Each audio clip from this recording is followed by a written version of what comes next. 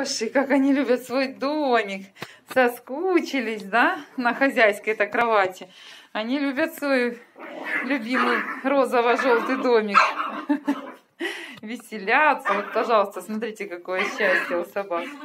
Да, а у Елисея была невеста, мы покажем обязательно в гостях. Так что будем ждать новых деток. Все, всем пока.